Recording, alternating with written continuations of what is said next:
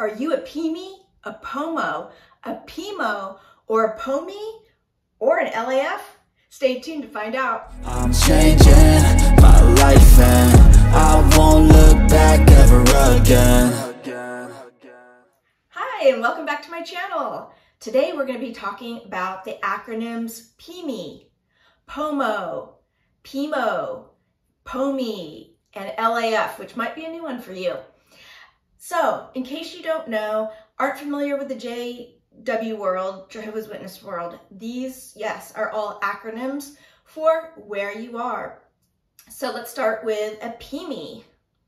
A PIMI is somebody who is very involved in the organization, very mentally in it. It stands for physically in, mentally in. They um, are 100% believers and mentally believe it all.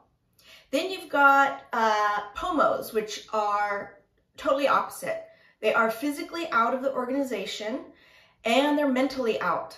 They don't believe any of it. They could be out of the organization by because they were disfellowshipped or they just walked away. They may have faded away. They may have disassociated themselves. But in any case, they're physically out. They don't go to the meetings anymore and they are mentally out of it. Okay? Then you've got PIMOs, physically in, mentally out. Now these people I I feel the, probably the worst for because they are physically in it, meaning they go to the meetings, maybe are participating in field service, um, which is the ministry work, and but mentally they are out and don't believe it. But for various reasons are choosing to stay in it.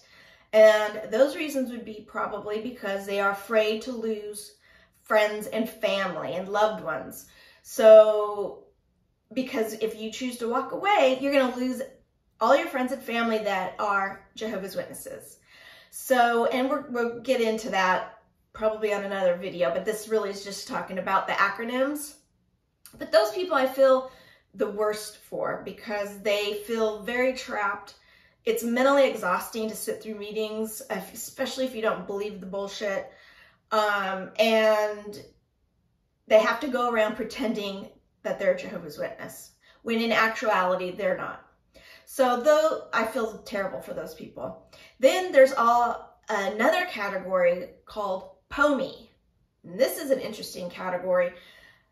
I feel sorry for this group of people as well. They are physically out, okay? Either they've been disfellowshipped or just faded away or haven't been associated with the organization for quite some time, but they're mentally in it. They, they believe it's the truth. They believe it is, if there was going to be a true religion, it would be the one and only.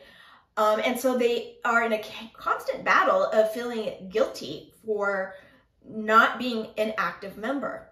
So I feel bad for that group of people as well. Now, there's a one you may have not heard of. It's called an LAF. And that is for ones that have never been a Jehovah's Witness and that acronym is You Are Lucky As. So that would apply to you.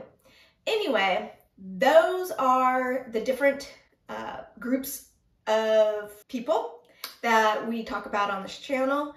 And I'm hoping to help all of those groups. So anyway, I made this video. I know you're waiting for uh, a video for me to tell my story of waking up and I do plan on doing that, but I'm waiting on some equipment to come, particularly some like nice professional mics so that my audio is much better. And so those don't come till like the 11th, I think, of this month. So I am just making some other videos in the meantime. But um, some of the more important videos, I am waiting for some equipment to come. But anyhow, I hope this helps and teach you about acronyms and hope it helps to teach you what the acronyms are when you see them uh, on forums or in YouTube videos. Now you know. Oh, one more thing, please don't forget to give this video a thumbs up and subscribe. Have a great day, guys. I'll see you on the next video. I'm changing my life and I won't look back ever again.